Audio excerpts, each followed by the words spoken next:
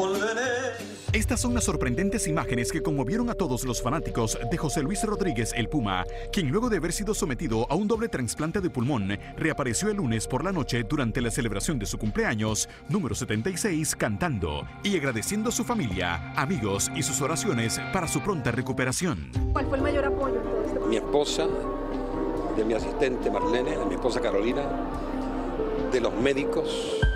Ante estas palabras, su hija, Lilibet Morillo, de quien lleva varios años distanciado, reaccionó dolida y con la voz entrecortada le envió un mensaje al cantante a través de sus redes sociales.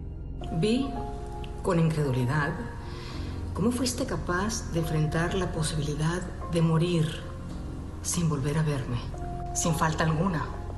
Porque nunca te agredí, nunca te ofendí, ni personal, ni mucho menos públicamente. Debí darle gracias a la prensa, a tu familia. ¿Y yo qué soy? Tú dime. Debí darle gracias a Dios. ¿A cuál Dios, papá? ¿Qué Dios profesas? Porque el Dios que yo conozco es Padre y es bueno. Le pedí te diera tiempo para que buscaras rectificar, enmendar, recoger tus pasos, corregir errores. Y después de un año de tiempo añadido, eh, a mi parecer con otros fines, sigues incapaz de demostrar un espíritu de enmienda. Hice lo propio como hija de Dios, hija tuya. Te busqué, te contacté, procuré nuestro encuentro, lo sabes. Contacté a Carolina a través de textos, los cuales conservo, donde le pedí oráramos juntos, me dejara verte. Me leyó pero no me contestó, cosa que también dejo en manos de Dios. Busqué aquel hombre digno de, de admirar, de admiración, pero no lo encontré porque ese hombre sigue escogiendo ser padre de una y no de tres. Cuando tres te fuimos dadas, dijiste que tenías que escoger entre tu nueva familia y nosotras, pero no papá.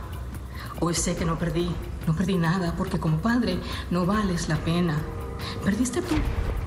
Perdiste dos hijas maravillosas, talentosas, con grandes corazones y una nieta con una dulzura y una ternura que no creo que vas a llegar a conocer. Seguiré pidiendo por ti, papá, que es lo que me toca, me corresponde, seguiré honrándote.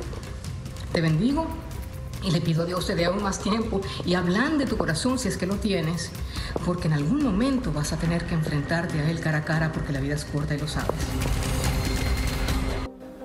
Pues trabajando, cantando. En una fiesta de Él. Tú has dicho en el pasado, ¿no? Que, bueno, que no has tenido ningún problema en